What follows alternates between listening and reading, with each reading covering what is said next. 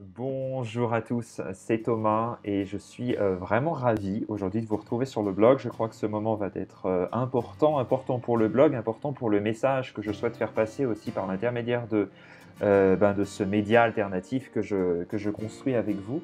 Et aujourd'hui, j'ai la, la joie.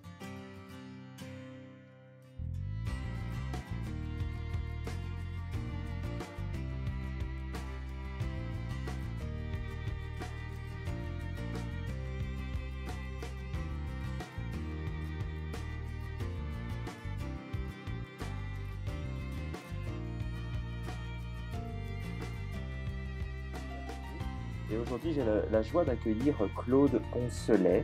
Et euh, Claude, je vous souhaite la, la bienvenue sur le blog. Merci Thomas, c'est avec joie que je suis euh, sur le blog. Merci beaucoup d'avoir euh, euh, répondu de manière euh, positive à, à ma demande. J'ai découvert votre parcours dans un article de l'INRES.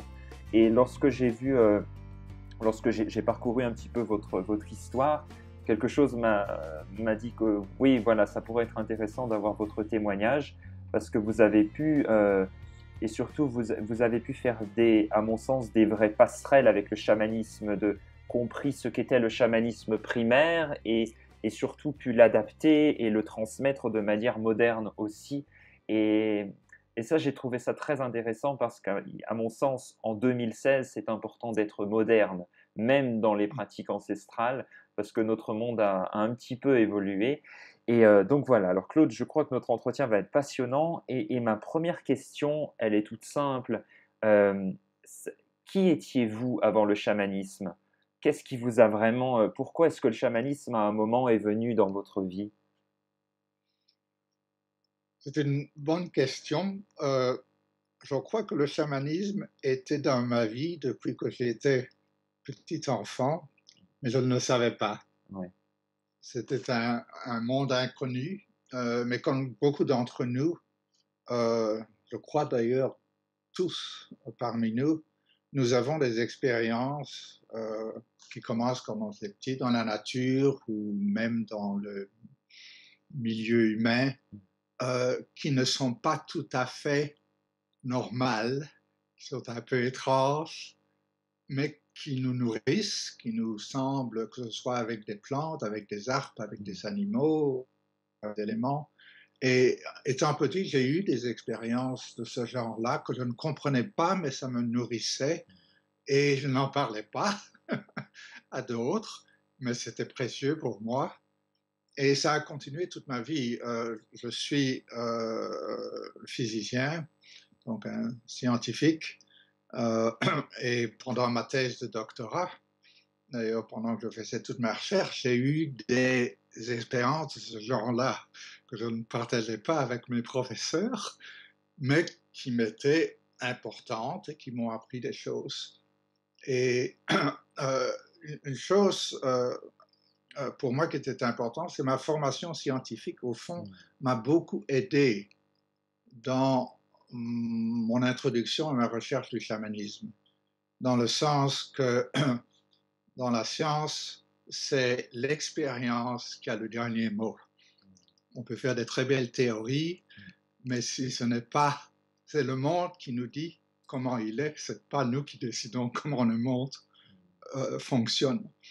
Et j'avais ces expériences, elles se répétaient, je ne pouvais pas les rejeter sans, euh, au fond, aller contre ma formation scientifique. Et euh, donc j'acceptais cela, ne comprenais pas. Et c'est plus tard, quand j'ai été introduit euh, à la pratique chamanique euh, au début des années 80, que euh, j'ai soudainement eu une, une compréhension, un- un- une structure, si vous voulez, qui me faisait comprendre, au fond, toutes ces expériences que, que j'avais eues et qui m'ont, qui m'a donné, et c'est là pour moi le, le- le grand apport du chamanisme, une façon euh, euh, où avec l'intention, je pouvais euh, euh, avoir ces expériences, avoir ce contact avec cette réalité non ordinaire, avec cet autre monde, ce que j'appelle la réalité spirituelle, la dimension spirituelle de la réalité. Et pas spontanément, spontanément seulement ce qui m'arrivait avant et qui peut encore arriver. Hmm. Est-ce que vous avez expérimenté, avant même de rencontrer cette cartographie-là, des guérisons chamaniques, avant même de rencontrer le chamanisme à proprement parler? Euh, D'une certaine façon, oui, dans le sens que euh, c'était des guérisons, disons, euh, plutôt genre émotionnel ou, ou, psychique, où je, avec ces expériences, je me recentrais, je me sentais plus aligné avec le monde autour de moi. Je ressentais une, une connexion avec tout le monde autour de moi et, et ça, me, euh, ça me guérissait, si vous voulez, d'une certaine façon. Mmh. Euh, c'est plus tard, évidemment, que, que non seulement j'ai pu euh, moi-même recevoir des guérisons chamaniques, ce que je reçois toujours pour le moment, et aussi euh, pratiquer en, tant que, que, guérisseur. Je mets ça entre oui, bien sûr. guillemets, car il a que, pour moi, il n'y a que auto-guérison. Je crois que le mot guérison n'est pas un très bon mot. Et c'est ça qui est très intéressant dans votre euh, perspective chamanique, j'ose dire. C'est justement ça. Vous parlez d'auto-guérison. Euh, alors que peut-être dans certaines formes de discours chamaniques, encore une fois, avec plein de guillemets, on, aurait tendance à, faire appel à des forces plus extérieures à nous-mêmes. Est-ce que c'est une peut-être une manière plus moderne pour vous de voir le chamanisme aujourd'hui, c'est-à-dire le chamanisme comme euh, explorer ses ressources intérieures qui potentialisent l'auto-guérison quelque part? Je crois que ça a toujours été le, cas mmh. euh, dans le passé avec le chamanisme. J'ai travaillé, je travaille toujours avec beaucoup de chamans euh, indigènes. Mmh. Et euh, pour eux, c'est vraiment leur compréhension aussi. Vous savez, c'est que ce soit le corps, c'est notre corps qui se guérit. Mm. Que ce soit notre mental, nos émotions, c'est nous qui nous guérissons. ce que notre culture a, la tendance de vouloir que d'autres nous guérissent. Docteur, guéris-moi. Euh, en anglais, on dit fix me. Hein? Euh, or, euh, c'est notre corps, si on parle du corps, qui, qui doit se guérir. nous utilisons pour cela des moyens, des forces extérieures, les forces spirituelles, par exemple, qui sont accessibles par le chamanisme, peuvent nous aider à ce que le corps, notre corps, guérissent. Mmh. Donc on fait appel à ces sources-là et il faut soi-même le faire. Mmh. Hein, de, demander à quelqu'un d'autre, hein, amenez-moi ces forces spirituelles. Non, il faut que ça vienne de soi-même. D'autres, que ce soit un chaman qui aide ou une autre personne, sont là comme des facilitateurs, des, mmh. gens qui nous aident. Euh, et euh, euh, et c'est très important d'utiliser ces, ressources, si vous voulez. Hmm. D'accord. Mais c'est à nous de faire le pas. Complètement. Et d'utiliser ces forces spirituelles et hmm. d'autres forces pour nous guérir. Comment est-ce que vous définiriez le chamanisme aujourd'hui, après toutes ces années d'expérience Quelle est la définition en 2016 que l'on peut donner de, du chamanisme? Pour moi, le chamanisme euh, est, une, est une tradition spirituelle, une très ancienne, peut-être la plus ancienne, euh, euh, définit la réalité comme ayant une réalité, une partie de la réalité qui est physique, c'est l'espace, le temps, l'énergie, le, la matière, et une dimension spirituelle euh, j'emploie le mot dimension en tant que scientifique parce que pour moi, c'est comme ça que je vois la réalité. Hmm. La science étudie la réalité physique, la, de, la dimension physique de la réalité. Cette dimension spirituelle, euh, qui est celle que toutes les traditions spirituelles euh, retouchent, dans le chamanisme, il y a non seulement cette réalisation que cette dimension existe, mais le chamanisme nous donne des techniques, des moyens d'accéder à cette réalité spirituelle qui fait partie de notre plus grande réalité dans laquelle nous passons notre vie sur cette planète. Euh, on parle dans le chamanisme d'esprit, le contact avec les esprits qui parfois, euh, dans notre culture, peut euh, faire peur. Oui, est un peu galvaudé. Or, le mot esprit, par exemple, l'esprit d'un arbre, l'esprit d'un animal, c'est la dimension spirituelle de l'arbre, c'est la dimension mmh. spirituelle de l'animal. Pour nous, c'est notre âme, c'est ça que nous appelle, c'est notre esprit. Et, mais pour le, dans le chamanisme, toute réalité, toute forme a une dimension spirituelle, a donc esprit. Mmh. Et on peut contacter cet esprit. C'est la dimension spirituelle. Il ne faut pas ici tout de suite euh, en faire des formes.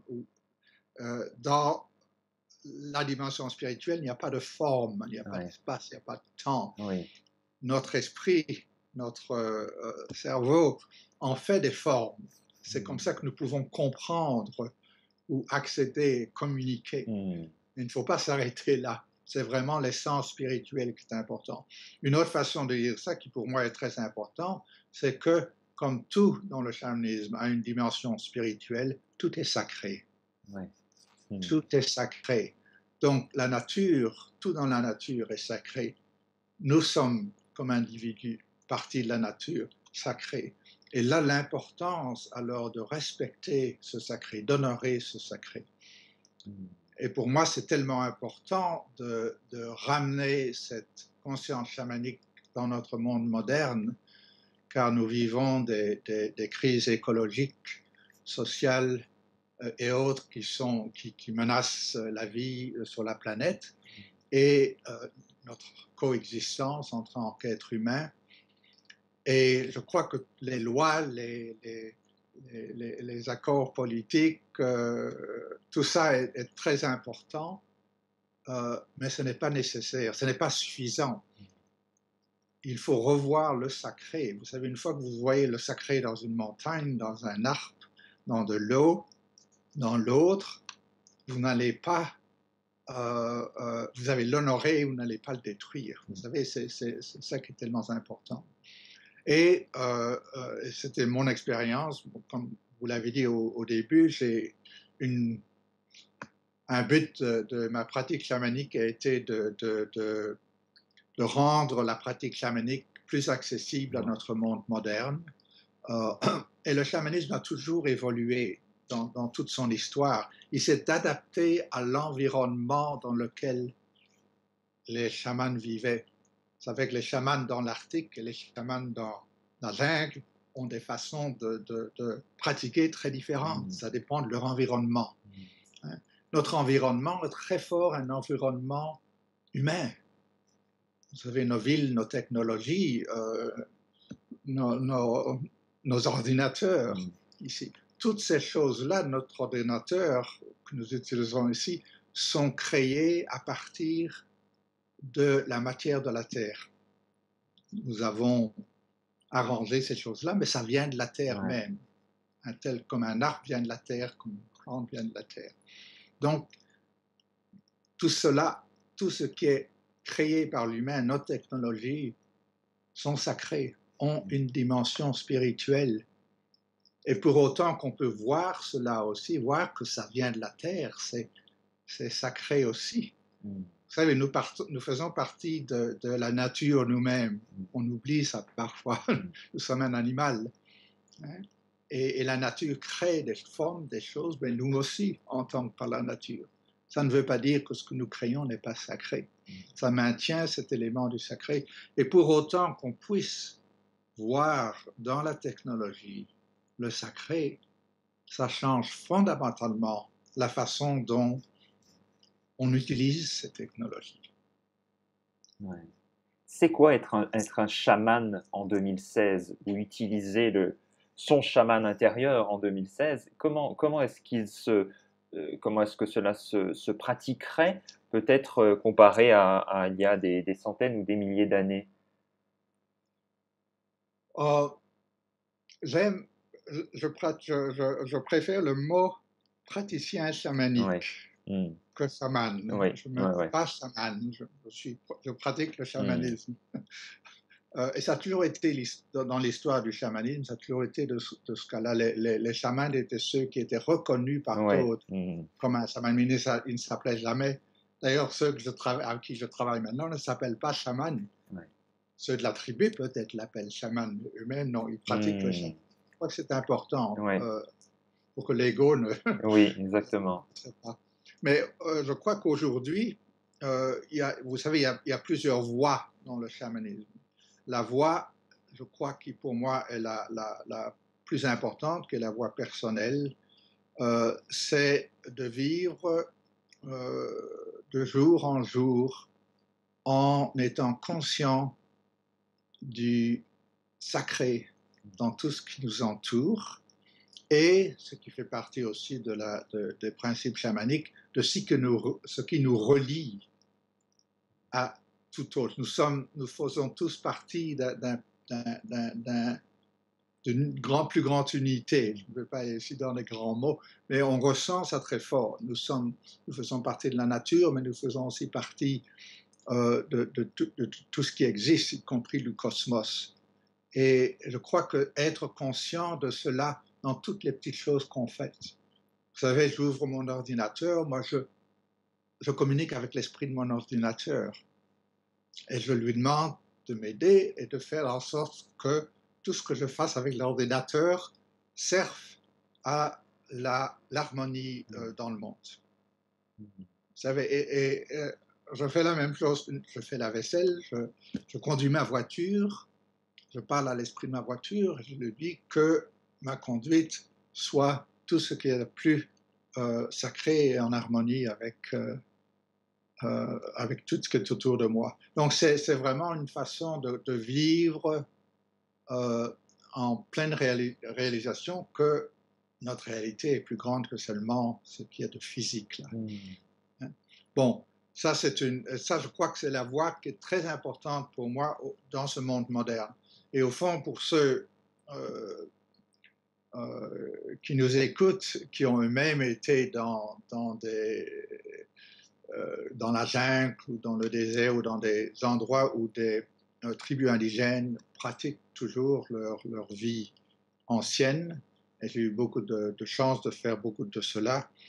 Euh, les gens, les membres du village, de la tribu, pratiquent cela tout à fait naturellement, avec tous les objets, tout ce qu'ils font, ils y voient le sacré.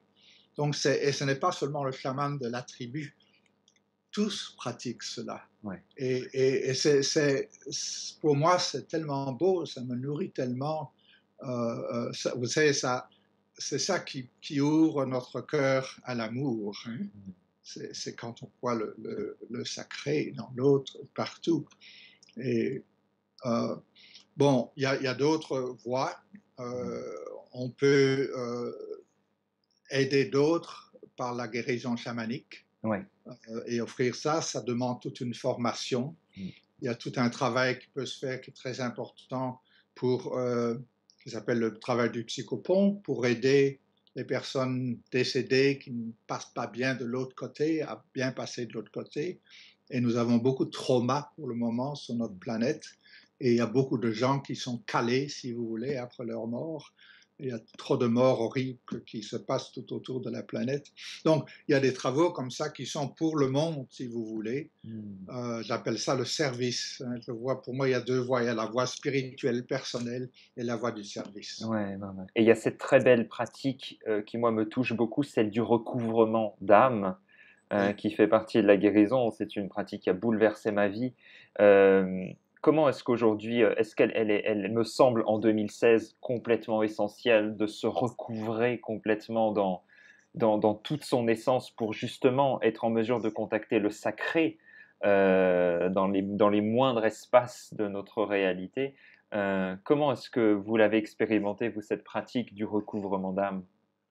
Je suis, je suis heureux, Thomas, que, que vous euh, mentionnez cette pratique, que, que, vous la trouviez tellement importante, car c'est là où je suis tout à fait. C'est une, pour moi, une, des guérisons chamaniques les plus importantes et, les, est tellement nécessaire à cette époque-ci. je pratique souvent des recouvrements d'âme euh, euh, euh, où des gens me demandent de, les aider à, faire cela. Et c'est mon expérience, et probablement la, vôtre aussi, c'est que dans notre monde moderne, la plupart d'entre nous,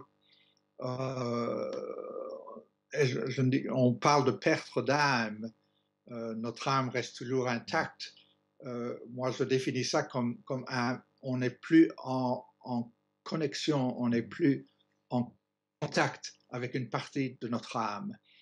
Et, c'est là où il faut réintégrer cette partie en nous-mêmes. Et, c'est une, pratique chamanique très, très importante.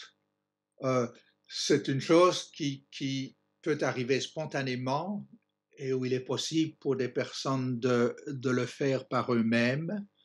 Et euh, pour moi en tout cas, je crois que c'est très important de travailler avec une autre personne parce que ça manifeste le fait qu'on n'est pas seul, qu'on n'est pas, qu'on est relié, qu'on est, nous faisons partie d'un plus grand tout. Et alors travailler avec une autre personne manifeste cela et alors amène plus d'énergie, de, pouvoir, de réalisation mmh. Par ce travail. Ouais, c'est une magnifique, magnifique pratique et on invite toute personne à évidemment à être sur ce chemin-là. C'est une pratique que je, dont j'en parle beaucoup moi dans tous mes enseignements. Et j'avais une question qui, qui me restait euh, en tête, Claude. Euh, est-ce qu'il a été compliqué pour vous? Il y a la cartographie chamanique et il y avait votre cartographie scientifique. Euh, est-ce que vous avez pu en faire des parallèles? Est-ce que vous avez dû laisser de côté le monde scientifique? Euh, c'est une bonne question. J'aime cette question car, euh, au contraire, pour moi, ma, pratique euh, scientifique, mon, entraînement scientifique, mon expérience a été vraiment très précieux pour moi dans mon évolution dans ma pratique chamanique et vice-versa. Ma pratique chamanique m'a beaucoup aimé, aidé dans, dans ma pratique scientifique. Euh, comme je dis, ce sont euh, la science et le chamanisme regardent la réalité, mais par d'autres fenêtres, mmh. si vous voulez. Hein, mais ils regardent la même réalité. Donc, pour moi, il y a toujours eu, euh, et il y a des, des j'appelle ça des synchronicités entre le chamanisme et la science parce qu'ils regardent tous les deux la même réalité. Non, la science ne peut pas expliquer le chamanisme et le chamanisme ne va pas expliquer la réalité ordinaire. Euh, mais c'est la même réalité dont ils regardent. Alors, euh, euh, je, peux mentionner le, mon livre, Le chaman intérieur. J'ai plusieurs chapitres là où je parle justement de ces synchronicités entre euh, la science, particulièrement la physique, je suis physicien, mais, et, euh, et le chamanisme. Et au fond, euh, des, des, concepts en, physique quantique, en, cosmologie, m'ont beaucoup aidé à comprendre des expériences chamaniques. ça ne les expliquait pas, mais ça me donnait des, euh, des métaphores, si vous voulez, qui, qui, qui, me faisaient comprendre, par exemple, euh, ce qui m'arrivait. Mmh. Euh. Est-ce que votre livre a été traduit en français, Claude? Je ne me rappelle pas.